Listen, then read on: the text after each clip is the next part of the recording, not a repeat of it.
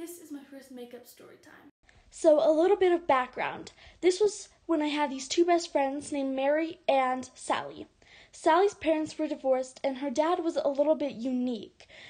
Um, for Christmas, my sister had given me a journal for me and Sally and Mary to write back to each other in, and this is what happened. So we wrote back to each other pretty often, and one time Sally had been given the journal for her to keep over the weekend and write in it, and she was staying at her dad's house at the time.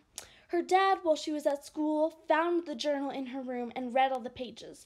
Of course, there was a lock, but the lock was not always secured. As soon as Sally's dad had read the pages, he quickly drove to our elementary school, came to the lobby, and started throwing a tantrum.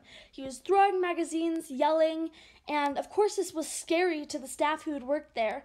And us just we us girls were just merely going on in our classes. We had no idea what was going on. Security got involved because an insane man was throwing a tantrum in an elementary school.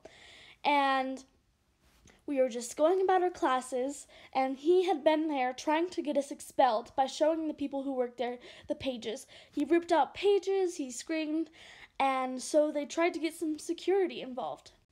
Of course, the way the staff heard it from him was that I was the one who had written something bad and inappropriate that was expel worthy in the journal. It got passed down to my teacher, like for part two, to find out what happened next.